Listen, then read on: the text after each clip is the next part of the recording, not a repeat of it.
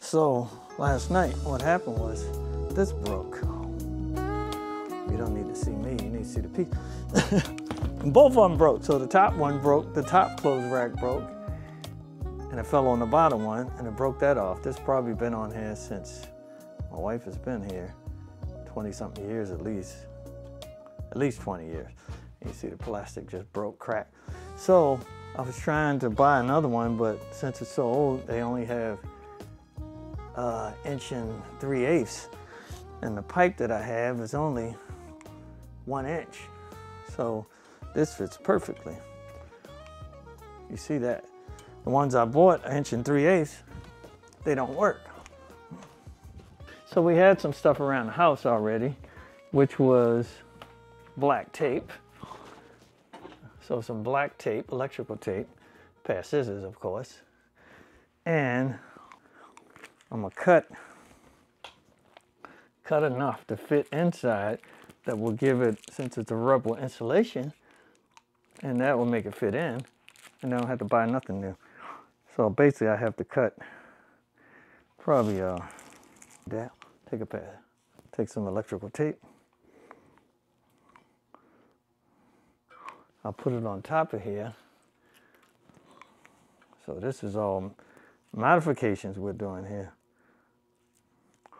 I'll put it on top of here. Then I'm going to take some electrical tape as such.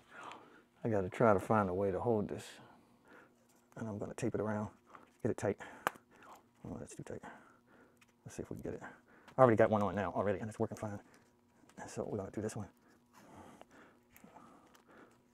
And this is, this is probably the cheapest way I can fix it with parts I already have at home. And since uh, I got electrical tape, I got so much, I needed some for something else for my headphones. Because they don't line up because this piece is, this mount is bigger, much larger. So it's probably around, uh, according to the other one.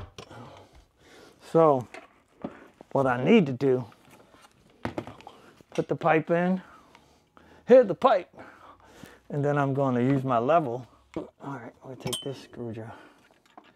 And we shouldn't have any electrical back there. So we drill that hole. Oh, we don't need that one. We need the one on top.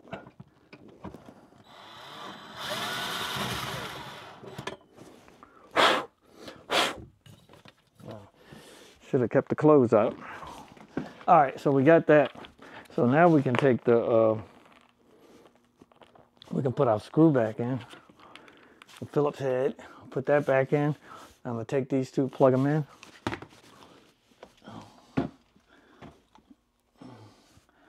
So we'll take this off to keep it from, you know, wobbling, which would cause uh, some play in it. And over time, it might, uh, it might give out on us. So let's see if we can get this in here.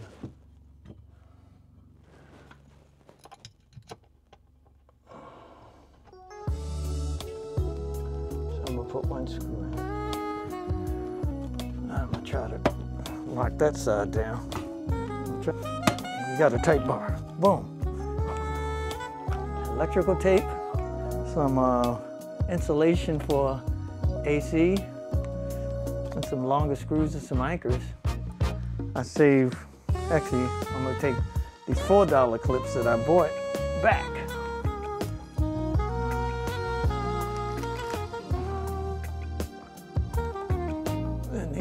Pretty much the size of the ones I already got.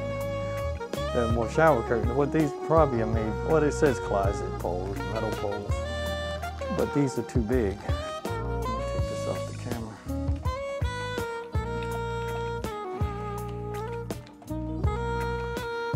Take it off the tripod. You can see, this is what we have. These on here. It's not gonna move because I got the insulation on. I kept the old bracket on as I think it's strong enough. It's it's a little bit stronger than the other one. And that don't seem like it will be a problem, but if it is, then I have two more of these that I can fit on this side. Yeah, that's just going. Oh, how many screws have Two. oh, that's right. Well, this is made for the shelf. So I could just drill into the shelf if that fails, which I doubt if it will. Or I'll, just put a screw in there. I'll throw a screw in there. And then I'll,